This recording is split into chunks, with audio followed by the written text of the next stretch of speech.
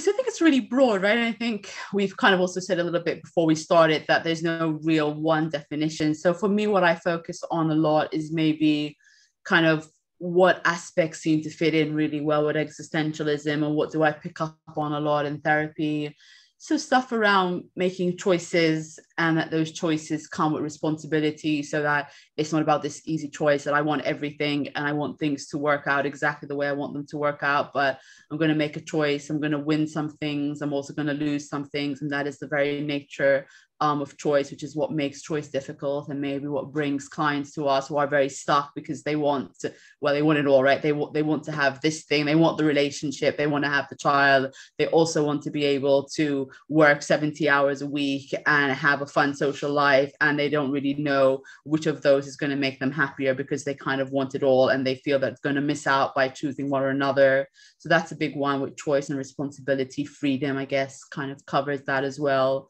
um, stuff around anxiety and sort of the existential anxiety sense of finding meaning, finding purpose, um, uh, what, how, what comes up when we feel stuck, what comes up when we feel that maybe we're just sort of going through life rather than living life and kind of having this maybe low level sense of dread that nothing seems to bring excitement or joy that I seem to be struggling a lot with making choices and anxiety and so on. So I think for me that really comes in as well in existential thoughts.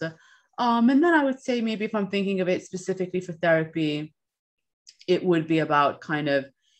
that it doesn't have maybe very fixed techniques. It's much more about an attitude of exploration, an attitude of understanding, um, uh, and just helping the client to kind of gain clarity about whatever issues they're bringing to therapy. And from then, hopefully, it enables them to either accept the situation as this is my reality right now, and this is what I have to live with, and I need to accept it, or now that I understand what my reality is, now I can make different choices and different decisions, and hopefully that will take me somewhere else. So for me, there's also that element of sort of the attitude towards our lives that we take on, and maybe kind of to use the fancy word, kind of that phenomenological exploration of just kind of really um, not having to pathologize, not having to explain things and say, you are this way because of this.